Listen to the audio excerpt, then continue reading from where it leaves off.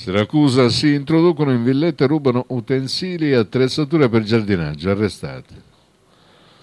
Erano impegnati in alcuni servizi di controllo straordinario volti a reprimere e prevenire furti nelle ville e nelle abitazioni delle zone balneari della città. In questo ambito i carabinieri della sezione radiomobile di Siracusa hanno arrestato in fragranza due soggetti di 29 e 26 anni già noti, sorpresi all'interno di un'abitazione estiva di Ognina. I due giovani si sono introdotte all'interno della villetta non abitata in questo periodo dell'anno per asportare utensili da lavoro e attrezzature per il giardinaggio. Le operazioni sono state notate dai carabinieri che hanno bloccato e identificato i due uomini e rintracciato il proprietario dell'immobile al quale la rifurtiva è stata restituita, mentre i due autori del furto sono stati sottoposti ai domiciliari come disposto dall'autorità giudiziaria di Siracusa.